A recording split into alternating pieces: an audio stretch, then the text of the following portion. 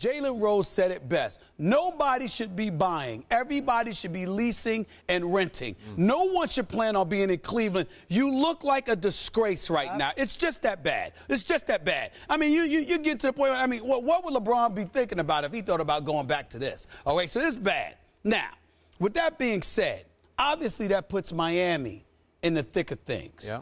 But remember, you have several things going on here. You got Carmelo and impending free agency. Mm-hmm. You've got the Bulls who can amnesty Boozer and get rid of Mike Dunleavy Jr. You've got the and when you talk about the Clippers, even though you can't definitively rule out something, the bottom line is is that you would need help from the yep. Lakers in order to make it happen. Now, if you know you're going to lose LeBron, and the Clippers and the, and, and, and the Miami Heat, as they wrote in the article, that they would be asking for a Blake Griffin. Yes. And if, it, Sign if, if you're LeBron, are you going to L.A. just to play with Chris Paul? Don't you want Blake Griffin right. there too? Package, yeah. You see what I'm saying? And so it, it, it, I don't want to say it's impossible because anything's possible with LeBron. It's slim. But I think the important thing to point out, and I've mentioned this on many occasions in the past, you got to take a moment to give LeBron credit and understand the impact of what he has done. Yeah, the decision was disastrous in terms of how it was handled. Yep. But in terms of him keeping an open mind and keeping his options open, he's changed the landscape of a free agency in the NBA for stars for years and years and years to come.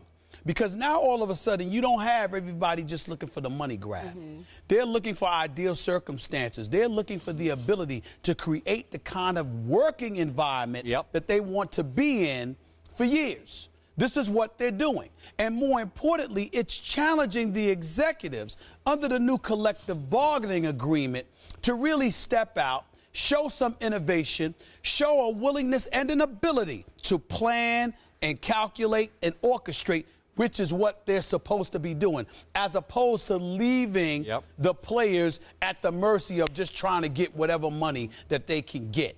LeBron James is showing you that you can create oppor- ideal opportunities for yourself. Not just because he got the money, but he took a little less, so D- Chris Bosh could take a little less, sure. Dwyane Wade could take a little less, and they could all be together. Now you're finding guys that are looking for the ideal environments to be in. So their relationships with one another resonate just as profoundly as the skill set that they have. And not just a relationship in terms of friendship, not just a relationship on the court, but a relationship in the business environment. Because if you are friends and you get along and you're both stars and your teammates, all of a sudden it it elevates the marketability of your franchise yep. and it elevates the marketability of the individuals. And then you're talking about a collaborative effort on a part of these players that's going to resonate in a fashion where guys want to come to them getting business advice. It's going to facilitate guys acting better in certain ways because they understand that it's monetarily beneficial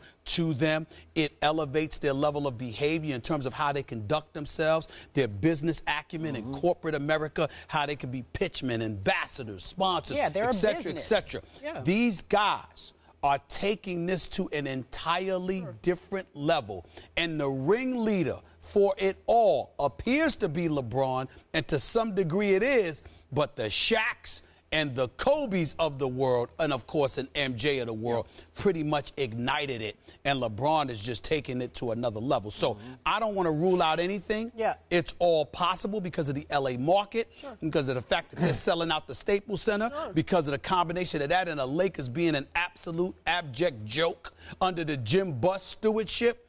All of these things contribute to it. Yep. But I still find it hard to believe that somehow, some way, the great Pat Riley Doesn't. will lose out.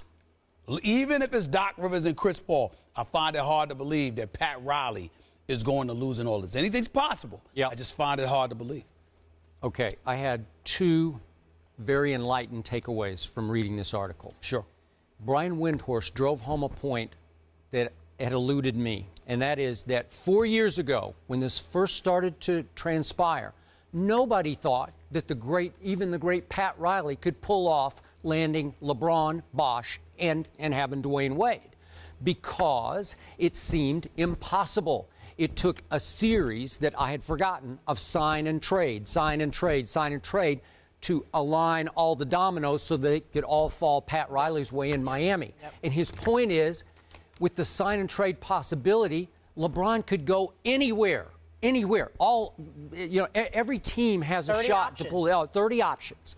Now, as soon as I read his CP3 scenario, I thought, wow, that makes some sense to me that I hadn't thought about because, as you well know, they are very close. In, in fact, you could I make a you. case that outside of D Wade, this is his closest friend in the well, league, right? Chris Paul, I mean, maybe son Bryce's that's, godfather. That's what I'm saying. So you, you could even make a case they might even be a little closer than LeBron and Dwyane Wade are. You could make that case. Mm-hmm. Okay. You don't think that LeBron James ultimately in his career would love to play for Doc Rivers? Mm-hmm. I mean, is there nothing but deep respect there?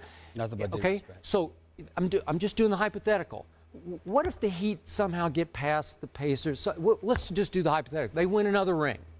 And LeBron says, Dwyane, your knees are, are failing. I, I, don't trust it. And Dwyane says, you know what? You got to do what you got to do. We had a great run here. Mm-hmm. That Pick and choose. That discussion has already happened. Okay. Well, and, and do you think it's over? Because no, I'm saying I, that D Wade understands. Sure. That okay. I'm, I'm, with does, you. I, absolutely. Okay. So now it's time for LeBron to be happy like it, the, the, original goal was I gotta I, I'm in quest of a ring. I gotta join D Wade and Bosh to, to win a ring, just one ring. What if he has three and he says, you know what? Since high school, I wanted to play with Chris Paul.